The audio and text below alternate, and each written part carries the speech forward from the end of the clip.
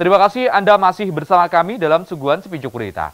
Puluhan petani di Kabupaten Ngawi mulai beralih ke sistem tanam padi dengan pemupukan organik. Hal ini sebagai langkah mensiasati mahalnya pupuk non-subsidi. Selain mengurangi biaya produksi, penggunaan pupuk organik cair tersebut mampu meningkatkan hasil produksi. Puluhan petani di Dusun Sambirejo, Desa Gelung, Kecamatan Paron, Kabupaten Ngawi saat ini memasuki panen raya padi. Hasil panen kali ini sangat melimpah karena mereka menggunakan pupuk organik cair berteknologi nano. Seperti yang dirasakan Suyoto, petani di desa Gelung ini. Dalam setengah hektar lahan padi, dirinya hanya menggunakan pupuk kimia sebanyak 125 kg. Padahal sebelum menggunakan pupuk cair organik, ia menggunakan pupuk kimia mencapai 4 kuintal atau mengalami penurunan penggunaan pupuk kimia sebanyak 70 persen. Dengan menggunakan 6 liter pupuk cair organik tersebut, mampu menekan biaya produksi, apalagi pupuk kimia non-subsidi saat ini harganya semakin mahal. Pupuk ini juga mampu menghasilkan gabah sebanyak 8 hingga 9 ton untuk setiap hektarnya. Sekarang pupuk mahal Pak ya? Iya mahal sekali. Terus sekarang mengurangi pupuk kimia?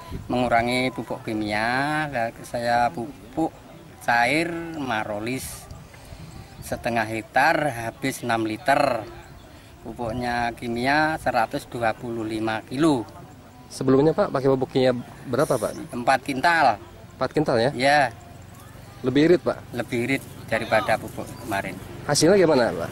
kalau hasil saya belum tahu ini baru belum diambil ini ini bagus Pak? bagus perkembangannya bagus? bagus perkembangan bagus Menurut Cahya Yudi, penemu pupuk organik cair berteknologi nano, panen kali ini membuat petani tenang walaupun pupuk non-subsidi mahal.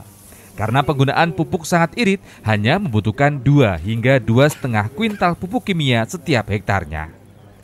Teknologi ini bisa membantu pengurangan pupuk sebanyak 70% hanya memakai 16 liter pupuk organik cair.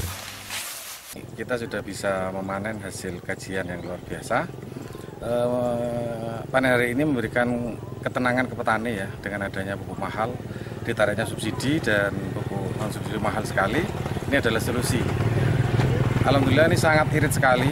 Penggunaan pupuknya hanya dua kintal sampai dua kintal setengah untuk kimianya dan teknologi ini bisa membantu petani sampai 70% di Ngawi ini. Ya, Unsur dari pupuk sendiri apa Pak unsurnya? Unsurnya ada NPK organik cair, cuma di sana ada bakterinya dan di sana juga ada di dalamnya juga ada hormonnya dan juga ada asam aminonya sehingga ini bisa sangat membantu petani untuk bisa mengikat NPK ataupun unsur-unsur yang lain di dalam tanah.